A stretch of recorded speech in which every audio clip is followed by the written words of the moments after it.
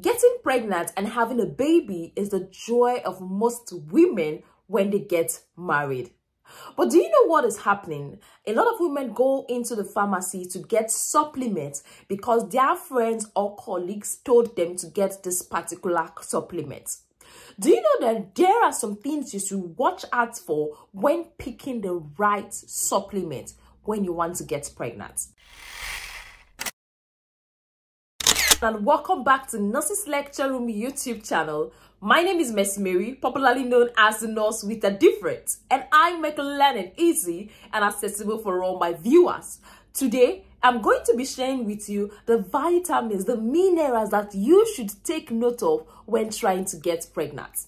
Let me gist you something when I was in my midwifery posting, like my community head posting, I was working as a midwife or student midwife they say. When I was there, when women come, when women they come for their antenatal, we give them the folic acid, so we give them the iron, vitamin C, vitamin D, calcium, and all that. We give them at the different stages of pregnancy, and all these tablets comes differently.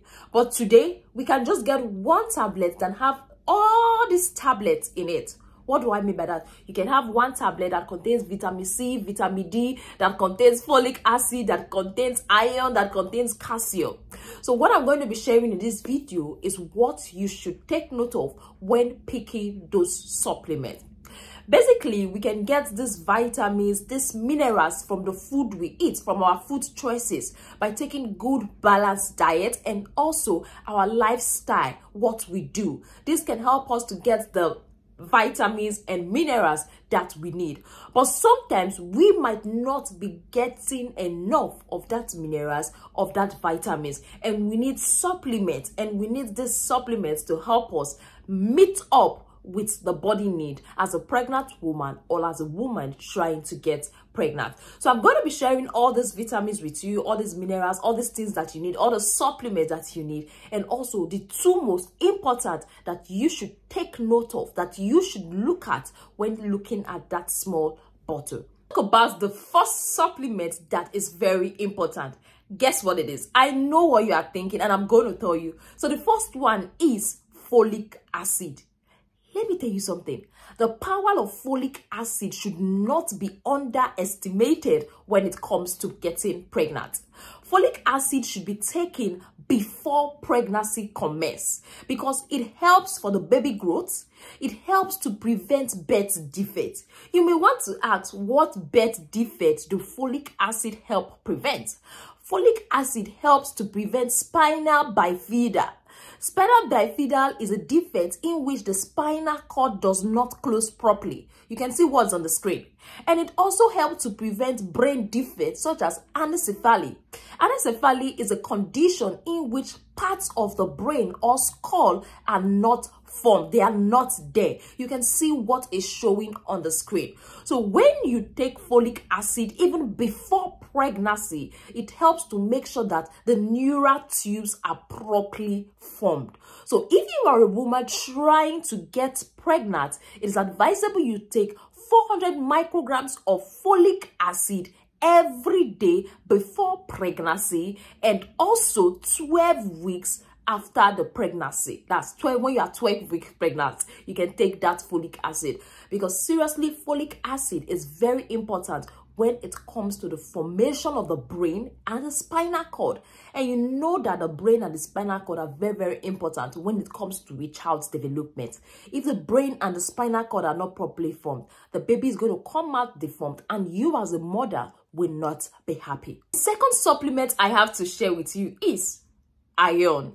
Yes, iron is very, very important when it comes to formation of the blood. Yes, hemoglobin. You know, hemoglobin is important part of the red blood cells. So they help to transport nutrients, oxygen, and carbon dioxide. Um, for the iron, iron is basically not for everybody. It's usually for the vegetarians, those that are vegan, they don't take meat. They only eat vegetables. Because iron are usually found in meats. They are not found in vegetables.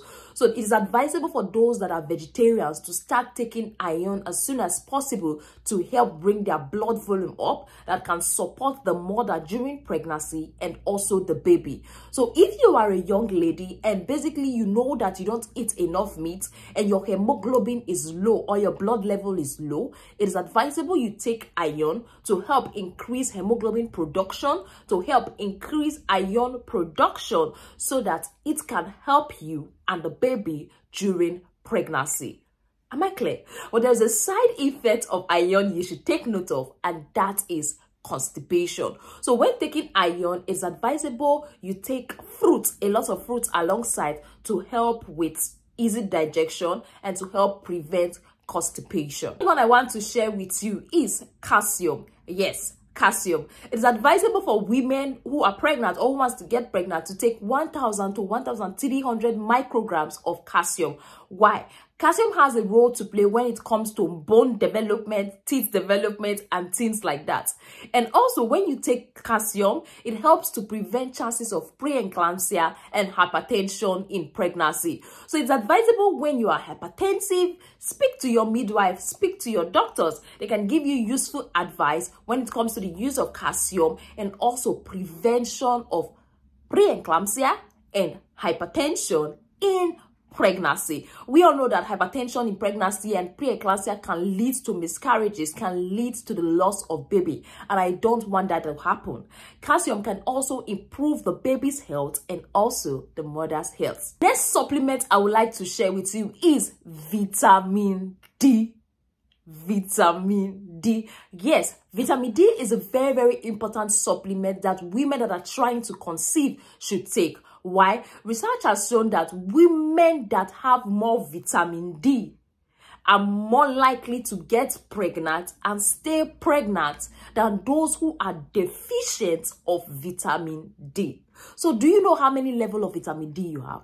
So like seriously, if you are a woman trying to get pregnant, it is easier, it is better for you to start taking vitamin D because vitamin D increases your chances of getting pregnant and not just getting pregnant, but staying pregnant and carrying the baby to term. So vitamin D is also an important supplement, same way folic acid is important when it comes to the formation of the neural tube.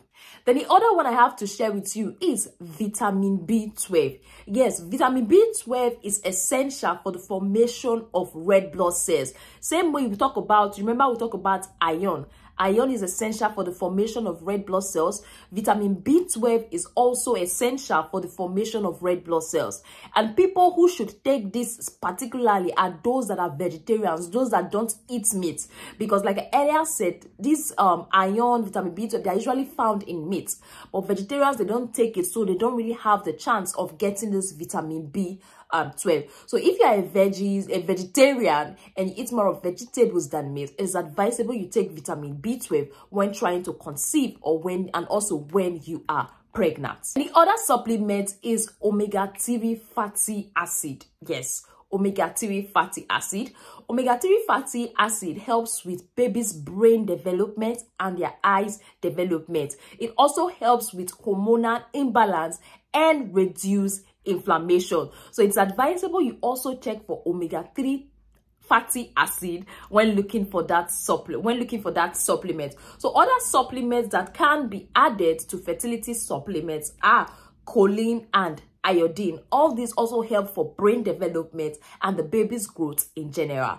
So my take is when you are trying to get pregnant there are two specific supplements that you should always check and that is folic acid and vitamin D. Whenever you are asking, oh, Mercy Mary, can I get this brand of a fertility treatment? Can I get this brand? Can I get this bottle? Check. Does this bottle has folic acid?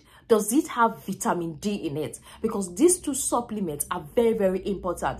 Remember I said that vitamin D increases the chances of fertility treatment working when compared to those that are deficient of vitamin D. So vitamin D, folic acid are very, very important.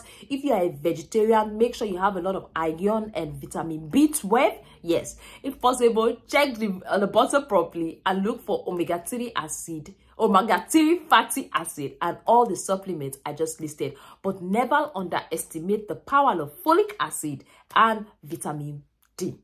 yeah vitamin d. Anyway thank you very much for staying tuned. Thank you very much for watching this video. Don't forget to like don't forget to subscribe and also don't forget to share with a friend if you got value. For all my returning subscribers this is Nurse Mary saying thank you. Bye and see you in our next video